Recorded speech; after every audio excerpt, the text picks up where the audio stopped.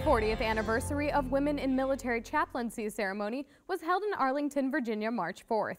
During the ceremony, the Navy's first female chaplain, Reverend Dianna Pohlman Bell, gave her remarks on the contributions that female chaplains in the military have and continue to make every day.